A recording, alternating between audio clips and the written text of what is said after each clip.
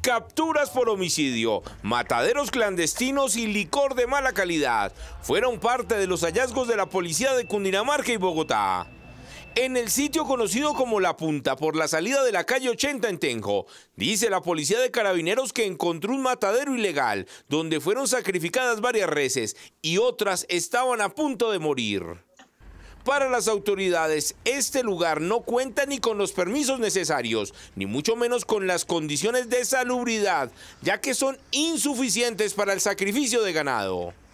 La policía hace presencia en el lugar, mientras que desde la alcaldía municipal se investiga quiénes son los responsables de este sitio.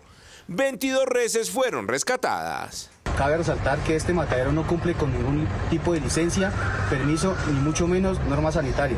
Se han recibido denuncias del aerocivil, dados los riesgos que representan las aves de rapiña al tráfico aéreo y adicionalmente la contaminación que generan estos desechos a fuentes hídricas del municipio. Mientras tanto en Bogotá, las autoridades encontraron más de 3.000 botellas de lo que sería licor de mala calidad. Al parecer todo este trago iba a ser distribuido en locales del sur y centro de la ciudad. Por el hecho no hay personas capturadas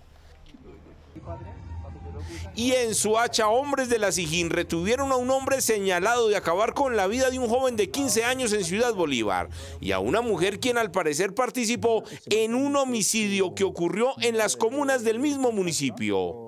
Lo que nos ha permitido informar hoy a la opinión pública dos resultados importantes.